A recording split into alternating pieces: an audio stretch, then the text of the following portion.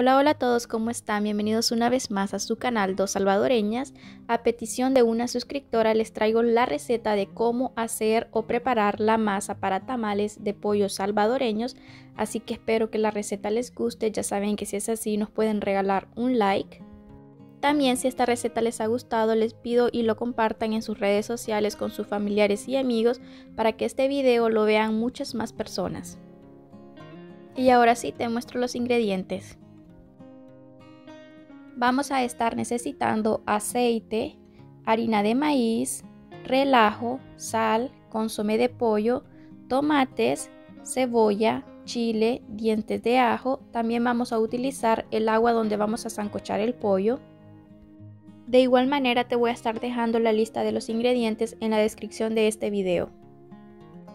Lo primero que voy a hacer es poner a asar 4 dientes de ajo, un poco más de medio chile verde. En esta ocasión voy a estar utilizando 8 tomates, son unos tomates algo pequeños. Vamos a asar todo muy bien para que el recaudo nos quede muy sabroso. Si usted no los quiere asar y ya de una vez lo quiere licuar, no hay ningún problema, usted lo puede hacer de esta manera. A mi parecer creo que le da un mejor sabor si usted los pone a asar primero, pero es al gusto de cada quien. Ya una vez que ya están bien asados, los voy a pasar al vaso de la licuadora para después poder licuarlos. También vamos a estar necesitando el relajo que para los que no saben es una combinación de especias como semillas de ayote, ajonjolí, achiote, pimienta negra, hojas de laurel y otras. Estas bolsitas las pueden conseguir en cualquier tienda hispana. En la misma cacerola o en un comal voy a estar tostando el relajo, más o menos he utilizado 3 cucharaditas.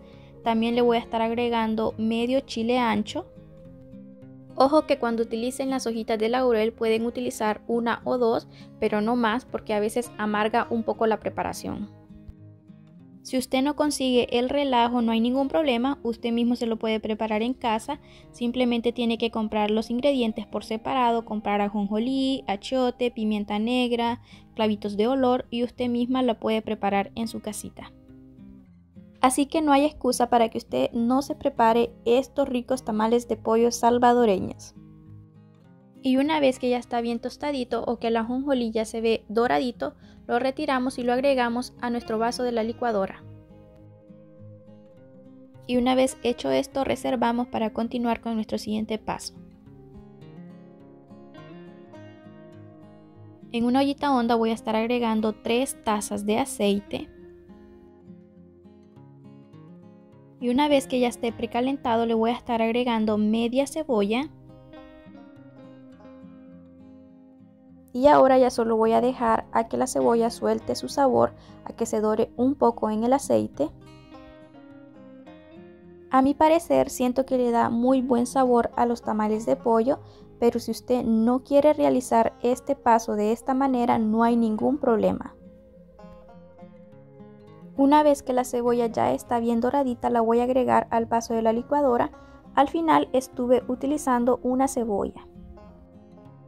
También le voy a estar agregando una taza y media de la sopa del pollo.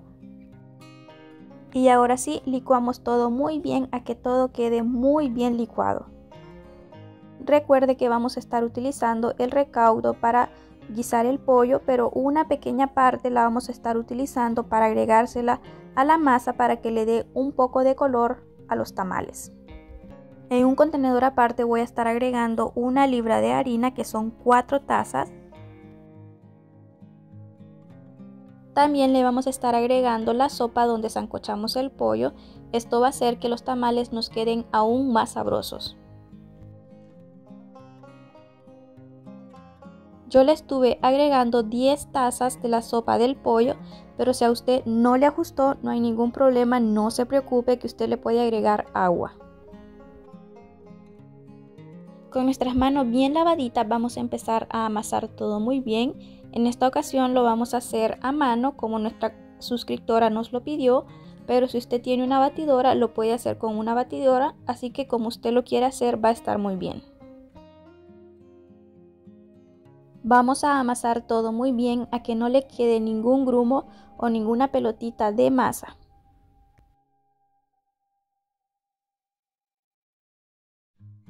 Y ahora le vamos a estar agregando el aceite. Yo le había agregado dos tazas y media de aceite, pero al final cuando estaba cocinando la masa le agregué media taza más, así que estuve utilizando tres tazas de aceite en total. Y como le había mencionado, le vamos a estar agregando un poquito de recaudo para darle un poco más de color a la masa. Así que usted vaya viendo con qué tanto color quiere que le queden los tamales. Para darle sabor a la masa le vamos a estar agregando consomé de pollo al gusto.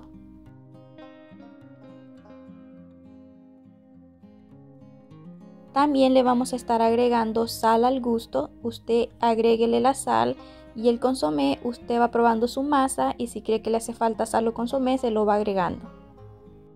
No es necesario que le agregue algo más para darle sabor a la masa, ya que el recaudo ya lleva el sabor de las especias, el tomate, la cebolla y el chile, y le aseguro que eso le da muy buen sabor a la masa de los tamales. Más aparte, la sopa donde se coció el pollo también ya lleva sabor, así que le aseguro que estos tamales quedan sabrosos, sabrosos. Y ahora, ya que la masa ya está lista, ya está bien de sabor, la vamos a cocer. Vamos a estar agregando la masa en una olla honda, de preferencia que sea lo suficientemente honda para poder mover muy bien la masa. Yo he puesto la temperatura de la estufa a término medio desde el momento en que se agrega la masa vamos a empezar a mover y no vamos a dejar de mover en ningún momento. Te hago la invitación para que veas nuestro último video. Es un video de cómo preparar los tamales de pollo salvadoreño, más explicado desde cómo hemos ancochado el pollo hasta cómo hemos cortado la hoja para los tamales, así que te invito a que vayas a ver ese video. De igual manera, te voy a estar dejando el enlace en la descripción de este video para que puedas ir a verlo después de ver este video.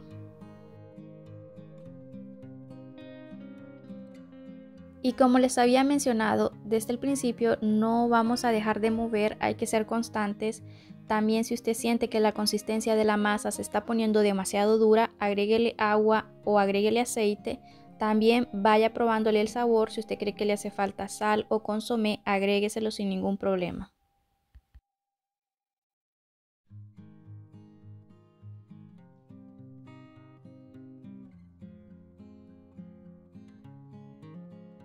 Nosotros le estábamos agregando el agua por poquito, pero al final le estuvimos agregando dos tazas de agua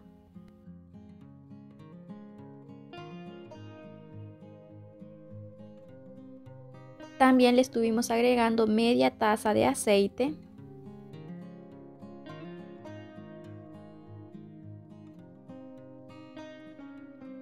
En la descripción de este video te voy a estar dejando la lista de ingredientes y las medidas exactas que hemos estado utilizando para preparar esta rica y deliciosa masa para tamales salvadoreños. Después de unos minutos sin dejar de mover, como puedes notar, la masa ya está burbujeando, ya está empezando a hervir. Eso significa que la masa ya está lista.